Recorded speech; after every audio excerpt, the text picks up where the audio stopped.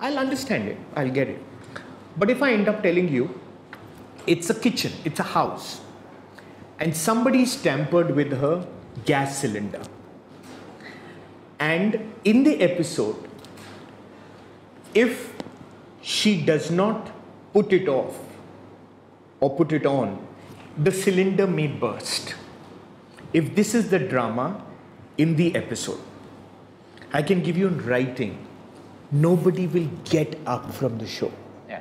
You will be like, what? Is it gonna happen? Is it going to happen? Yeah. No. And now, if the cylinder is going to burst, this is going to happen. If it doesn't, this is going to happen. Now, this is traction to your content. Yeah.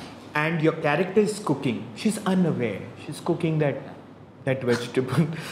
There is that slimy little sly person who has Yeah, yeah, yeah. you know, done something. Cut to Now her. that's your antagonist. Here's your protagonist. This is going to happen half an hour episode. Am I going to watch? Is it going to burst? Hmm, big time.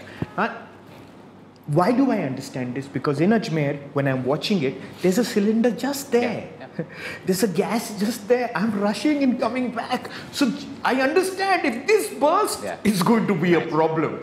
Now, this is understanding or you know your tapestry of your audience. Correct. This is what. So that seems to have clicked. Indian television strikes a chord because it resonates with the heartbeat of India, and that's why Indian television is where it is.